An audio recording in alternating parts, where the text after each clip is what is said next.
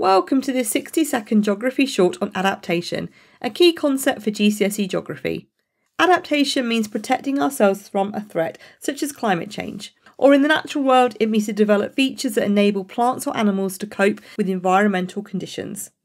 Adaptation features in several places on the GCSE course, such as in the Challenge of Natural Hazards, where we look at how people are adapting to cope with the effects of climate change or tectonic and weather hazards. We also meet the concept in the Living World unit when we look at the adaptations plants and animals make to survive in the tropical rainforest and hot deserts or cold environments, but also how humans cope with these extreme temperatures too.